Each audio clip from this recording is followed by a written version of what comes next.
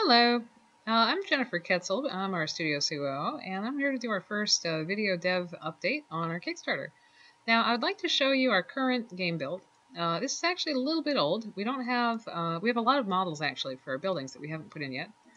And we also have um, uh, some new terrain that we're working in, and what most importantly, uh, you see this hideous UI that we currently are, are showing on the screen that is going away. It will be gone very shortly. We hope to have the new UI redesign uh, in polished form so we can show you guys uh, really soon, like the next few days. And I think you're going to really like it. This current uh, this current UI is just just hideous, and we know it, and you know it, and I don't make any apologies for it, except that uh, it'll be better soon. All right, so here we're looking at um, various buildings. This is an archery range. That sunlight is way too harsh. We're going to be changing the lighting too. Did I mention that? I don't think I did. So I am uh, just thrilled to be able to show you that we have a lot of functionality. Uh, this is a level 2 town hall. You can see we got some, some decent walls there. Uh, we have some houses for peasants. We got a, a barrack. Can you only have one barrack? I, have always always seen it as barracks, plural. But I guess you can only have one barrack. Anyway, this guy's a fool. Whoever built this city. They should have more than one barrack, and then they would have barracks, plural.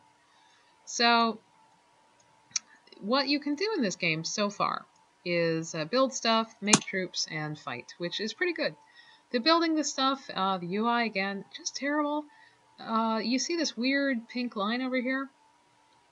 That means that we have a wall, but we don't have the model for the wall loaded. So this pink line is a reminder to us that we're in the middle of development and we don't have a wall model loaded. But when we do, that'll look awesome and it'll really prevent invaders from just marching and marching over here and having their way with me. Uh, we're going to have gates, we're going to have towers, we're going to have traps. You're going to be able to put an elaborate system of defenses, upgrade those walls so they're nice and thick and hard to get through.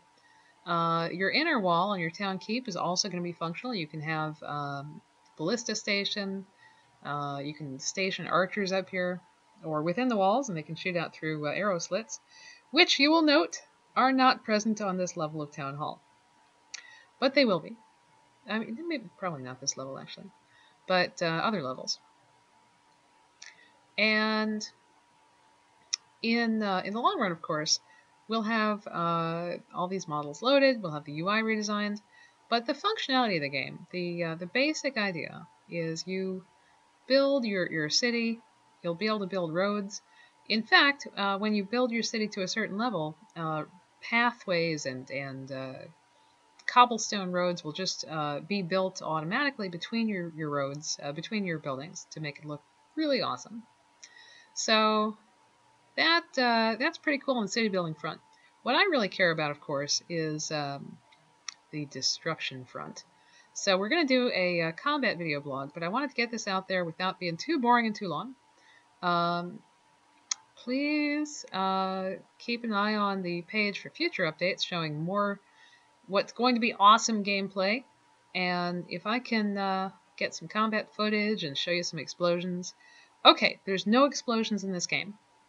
Uh, it's a medieval game. There's some magic, uh, but the magic is mostly like lightning and, and uh, flashy stuff, but I don't think any of it actually explodes. we'll see about that.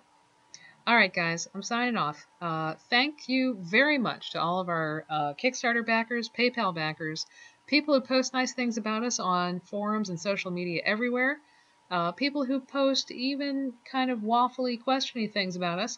If you have a question, please post. Um, post on our forum, post on our Kickstarter, get hold of me on Skype. Uh, we love to hear uh, anything that you have to say about the game, even if it's not positive, because you know what? It's a work in progress. You know that, I know that. Look at this horrible, horrible farm. That's just terrible. Look at this gross UI. What the heck is that? Oh, there's a blacksmith. Let's check it out. That's kind of pretty, actually. Huh. Wow, what's that big orange fiery thing? Anyway, thank you, and we really appreciate your support. Good night.